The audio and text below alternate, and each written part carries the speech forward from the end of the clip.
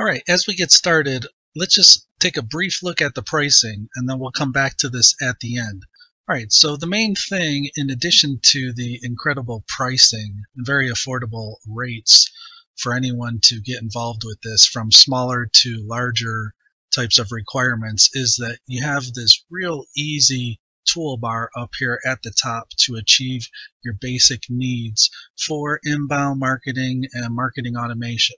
You have a forms tab here that you can just click on. You can look at your forms. We won't look at all of those right now. I just want to show you the UI for this, how easy it is to get around, get stats and things like that up top. You can look at your automations. And what I also like about this is as you get started, there are little tutorial videos on each little section here to help you out and get you started. Also notice you have a sub menu that you can look at for each of these higher level options on the toolbar. So just clicking across, of course you had your automations, now your sequences. This is when you set up an email type of sequence where you're sending out uh, in a specific predefined time period every other day, what have you. You could have three emails, you could have five emails in that sequence, and so forth. So that's where you would handle that. For broadcast, this is for your one-off emails. So you have a separate tab for that. You can hit all of your subscribers, or you can uh, choose by segmentation who you want to send that single email to. Then you have your subscribers. So what I like about this, again, is the simplicity of it. You have your objectives for your inbound marketing and for your marketing automation. And instead of having this massive tool, which those are all great tools. I'm not speaking anything against them, but like I said, I've discovered this little tool here that does a whole lot and is nice and simple to use. So when you're looking for different types of competitors for the larger tools like Marketo, ConvertKit is something that you can consider. I will leave a link in the description below if you'd like to check it out. And that will conclude this part. Let's jump back over to the pricing to finish things off. Now back to the pricing here for ConvertKit. You have based upon subscribers, 0 to 1,000, real easy to get in here and even start off trying it for free, 29 bucks for up to a thousand subscribers with all of the tools that we just looked at within this main product. Uh, also, you can build up as you need to, and if you have larger subscriber base, you can look at these other plans as well. Then over here, uh, you can calculate based upon if you've got 20,000. It did this, and it is really reasonable. 179 a month for 20,000. So I know some of the larger enterprises have uh, massive list like that, 20,000 and above. So here it's kind of a la carte. You can just choose as you need to. Otherwise, you have these wonderful pricing options down below for the smaller scale businesses. Okay, I hope this was helpful for you. If you're looking for a different option out there, this is one I would highly recommend and I use it myself. All the best in your prospecting.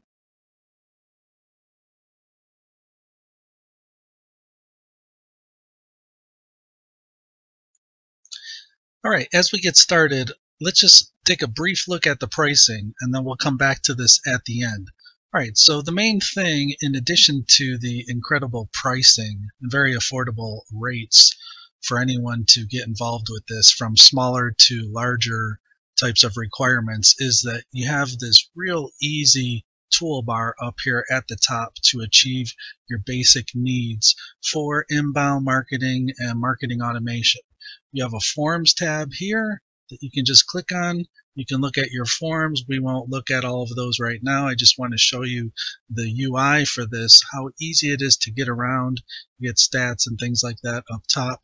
You can look at your automations. And what I also like about this is as you get started, there are little tutorial videos on each little section here to help you out and get you started. Also notice you have a sub menu that you can look at for each of these higher level options on the toolbar. So just clicking across, of course you had your automations, now your sequences. This is when you set up an email type of sequence where you're sending out uh, in a specific predefined time period every other day, what have you. You could have three emails, you could have five emails in that sequence, and so forth. So that's where you would handle that. For broadcast, this is for your one-off emails. So you have a separate tab for that. You can hit all of your subscribers, or you can uh, choose by segmentation who you want to send that single email to. Then you have your subscribers. So what I like about this, again, is the simplicity of it. You have your objectives for your inbound marketing and for your marketing automation. And instead of having this massive tool, which those are all great tools, I'm not speaking anything against them, but like I said, I've discovered this little tool here that does a whole lot and is nice and simple to use. So when you're looking for different types of competitors for the larger tools like Marketo. ConvertKit is something that you can consider. I will leave a link in the description below if you'd like to check it out. And that will conclude this part. Let's jump back over to the pricing to finish things off. Now back to the pricing here for ConvertKit. You have based upon subscribers, 0 to 1,000, real easy to get in here and even start off trying it for free 29 bucks for up to a thousand subscribers with all of the tools that we just looked at within this main product. Uh, also, you can build up as you need to, and if you have larger subscriber base, you can look at these other plans as well. Then over here, uh, you can calculate based upon if you've got 20,000 I did this and it is really reasonable. 179 a month for 20,000 so I know some of the larger enterprises have a massive lists like that 20,000 and above. So here it's kind of a la carte. You can just choose as you need to. Otherwise you have these wonderful pricing options down below for the smaller scale businesses Okay, I hope this was helpful for you. If you're looking for a different option out there, this is one I would highly recommend and I use it myself. All the best in your prospecting.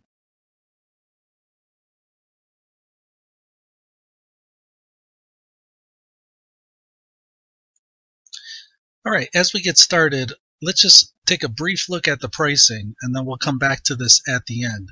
All right, so the main thing, in addition to the incredible pricing and very affordable rates for anyone to get involved with this from smaller to larger types of requirements, is that you have this real easy toolbar up here at the top to achieve your basic needs for inbound marketing and marketing automation. You have a forms tab here that you can just click on you can look at your forms. We won't look at all of those right now. I just want to show you the UI for this, how easy it is to get around, get stats and things like that up top. You can look at your automations. And what I also like about this is as you get started, there are little tutorial videos on each little section here to help you out and get you started. Also notice you have a sub menu that you can look at for each of these higher level options on the toolbar. So just clicking across, of course, you had your automations, now your sequences. This is when you set up an email type of sequence where you're sending out uh, in a specific predefined time period every other day, what have you. You could have three emails, you could have five emails in that sequence, and so forth. So that's where you would handle that. For broadcast, this is for your one-off emails. So you have a separate tab for that you can hit all of your subscribers or you can uh, choose by segmentation who you want to send that single email to. Then you have your subscribers. So what I like about this again is the simplicity of it. You have your objectives for your inbound marketing and for your marketing automation. And instead of having this massive tool, which those are all great tools, I'm not speaking anything against them, but like I said, I've discovered this little tool here that does a whole lot and is nice and simple to use. So when you're looking for different types of competitors for the larger tools like Marketo, ConvertKit is something that you can consider. I will leave a link in the description below if you'd like to check it out. And that will conclude this part. Let's jump back over to the pricing to finish things off. Now back to the pricing here for ConvertKit. You have based upon subscribers, 0 to 1,000, real easy to get in here and even start off trying it for free 29 bucks for up to a thousand subscribers with all of the tools that we just looked at within this main product.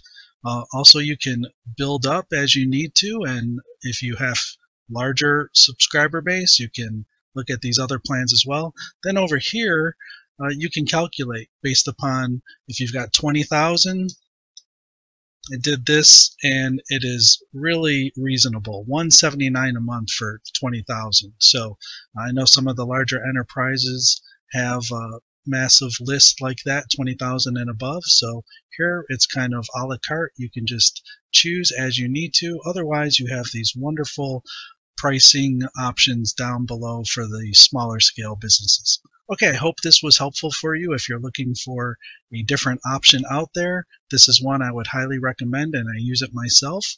All the best in your prospecting.